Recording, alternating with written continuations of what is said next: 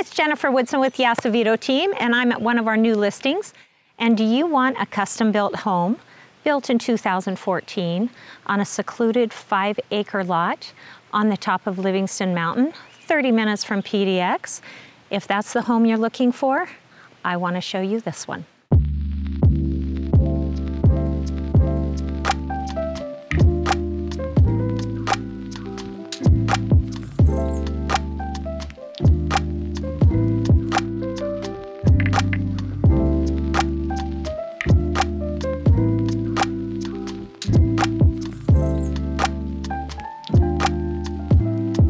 Main level of this home, because this is a daylight ranch, so on the main level, we've got the primary bedroom, huge bathroom, huge shower, uh, sitting tub, sitting area for makeup.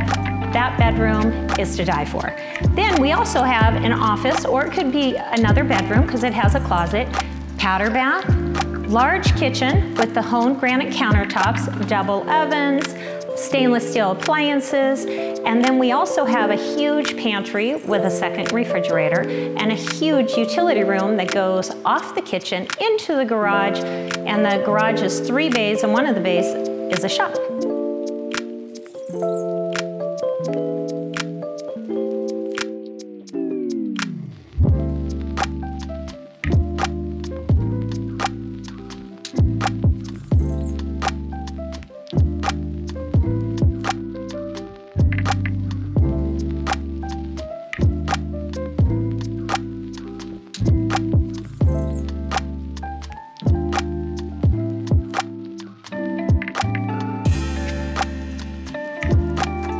So what'd you think of the house?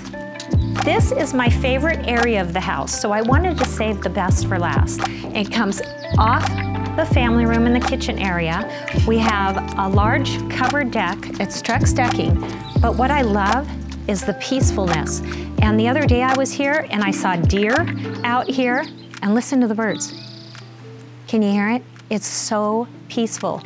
And the view, I'm on Livingston Mountain right now, but if you look out, there's Astoria and Saddle Mountain, and it's just gorgeous.